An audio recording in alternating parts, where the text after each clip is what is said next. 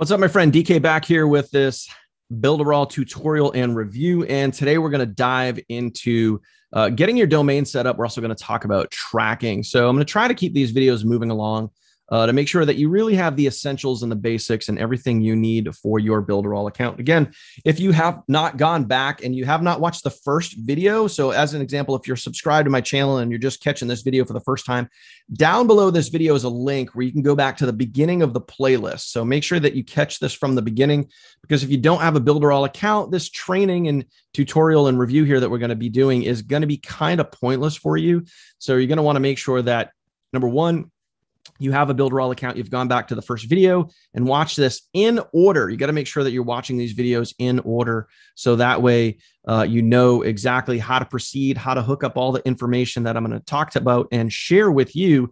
So today we're going to talk about domain setup and tracking. So again, if you don't have a Builderall account, right down below this video is that link. You can go check that out. And obviously, if you're just catching up here, you want to watch the first video to know 100% that why I am choosing Builderall and why I'm choosing to share all this information with you. I show you real life examples and also, uh, you know, you guys can go see that, see the open rates, see the capture pages, and just know uh, why we're going through this video training series here. So, what you're going to want to do is log into your Builderall main account. And once you do that, you're going to land on this page right here. So, if you don't have a domain set up, that's going to be the very first thing that you're going to want to do.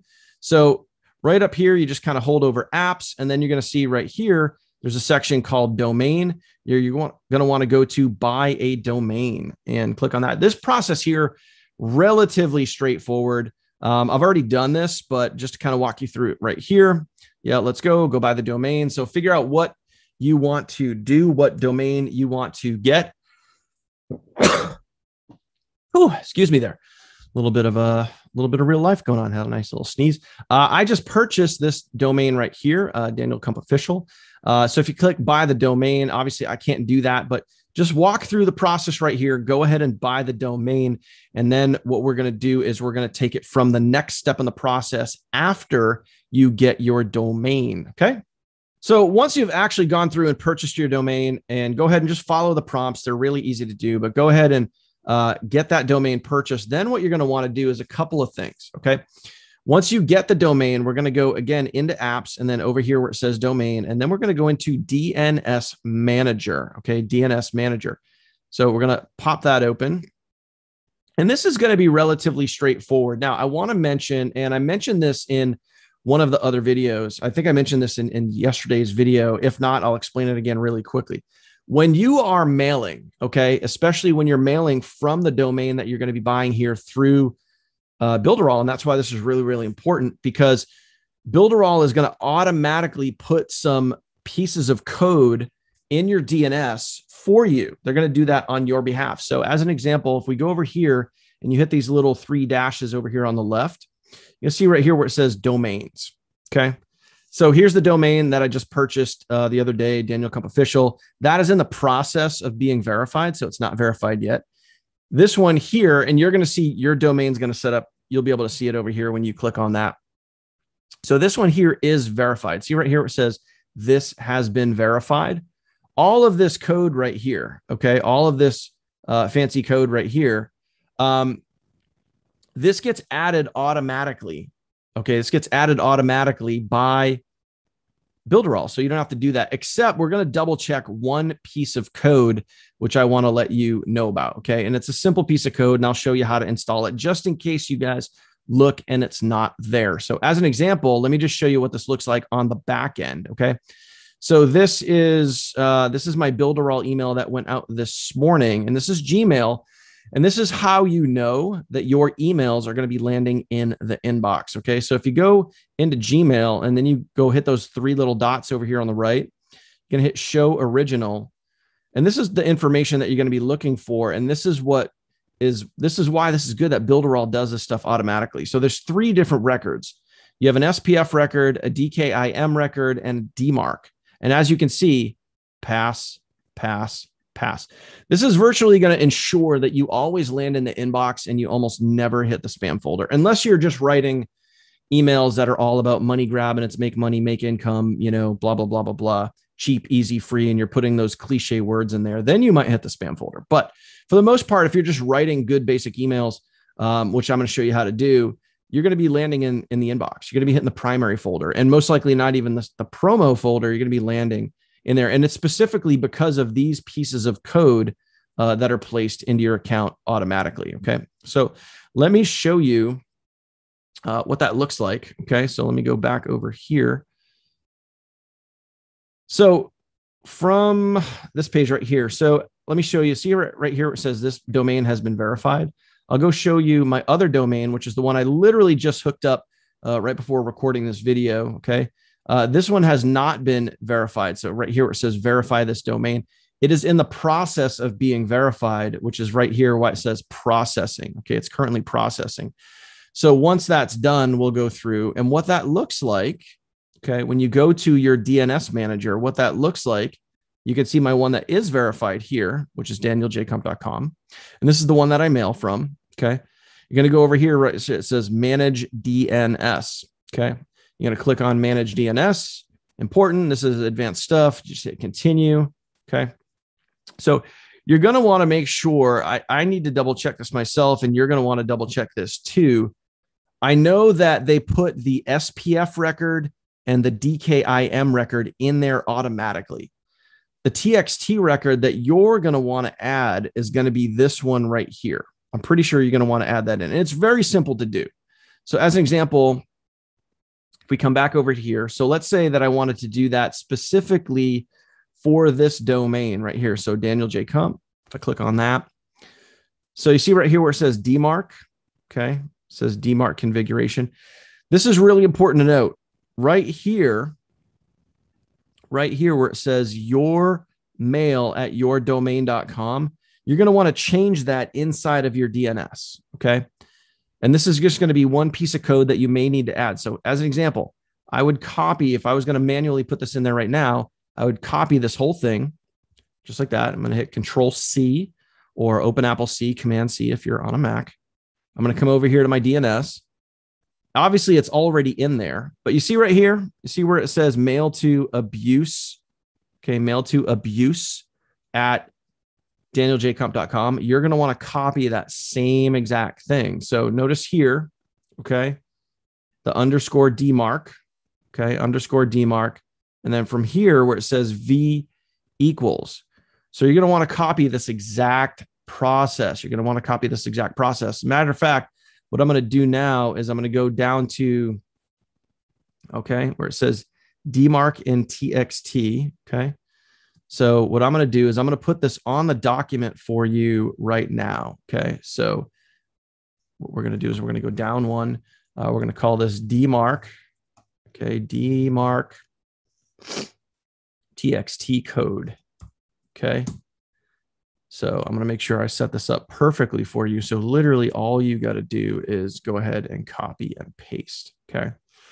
So the host uh, your host is going to be dmarc underscore dmarc. Okay, so host is going to be underscore dmarc. Okay, and your the type is going to be txt, so you're going to be selecting that. Okay. Type is it's called TXT. You're going to select that when you go to, and I'll show you what that looks like in about two seconds. And then your code that we're going to put in here, I got to make sure too many tabs open, too many tabs open. Your tab, your code is going to be this right here, right from the V. Boom, we're going to copy that. So you could do it right here. You could obviously copy and paste it right from uh, Builderall itself, or you could grab the code right here from uh, from this. And this is going to be called, I believe this is called the name, if I'm not mistaken. Oh, that, that's called the value. There it is. Okay. So here we go. Value is going to be that. Now, notice again, notice right here where it says your mail at your domain.com. You're going to have to change that. You're going to have to change that once you put this piece of code into your DNS. Okay. And again, this is going to help you get uh, in the inbox. So what we, what we do now, again, I already have this in here, but I'll just show you what it looks like. You're going to select TXT. You're going to hit add the host again, underscore dmarc. And again, you're going to paste that in here. Now, what you're going to do is remember what I showed you here right on screen. You're going to change this to abuse. Okay. And then my domain, which would be Daniel J. Kump. Make sure you spell it right. Just take your time. Make sure you spell everything right. Should your domain should be second nature, typing it out. So I have here abuse at danieljkump.com. And that's the code. And then boom, and then you hit save, and then that is done. But again, I already have it in there. So uh, I'm not going to go put it in there twice. So that is that. I mean, that's a really simple and easy thing to do. Again, just follow along, go back, rewatch this if you need to, uh, but go ahead and do that. So that way, again, when you're sending, especially to Gmail, which is, by the way, guys, you need to know this Gmail is 85% of the marketplace when it comes to email. When it comes to ESPs, email service providers, Gmail is 85% of the market. So you need to know what are some of the things that you got to do if you want to get in the primary folder with Gmail.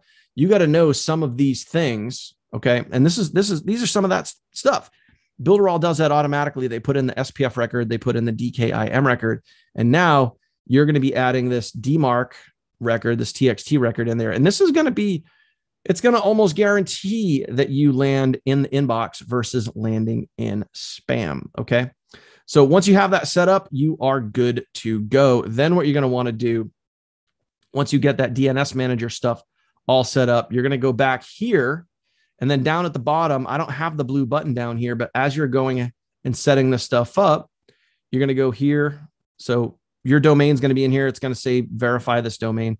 You're going to go down and right here where it's going to say verify DNS records, you're going to click verify. Now, this could take up to 24 to 48 hours, just so you know, it could take 24 to 48 hours to verify, which as an example, I did this yesterday and it still says that it's processing. But again, if you guys have any questions, here's a quick workaround. If you have any questions, and I've, I've had to do this process multiple, multiple, multiple times going through uh, while I'm setting up all my Builderall information from your main dashboard, right over here, there's a big old blue button right here that says support. Okay. So uh, just in case my camera is in the way, I'll just kind of put some attention to it here. So you guys can see right here, there's a big old support button.